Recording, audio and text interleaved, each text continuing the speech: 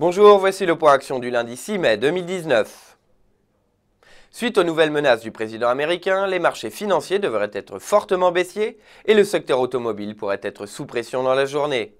Ainsi, le cours de l'action Valeo pourrait franchir les 32 euros pour rejoindre l'ancienne résistance oblique située sur le seuil des 31 euros, voire au contact de la moyenne mobile 200 périodes située à 30,50 euros par la suite.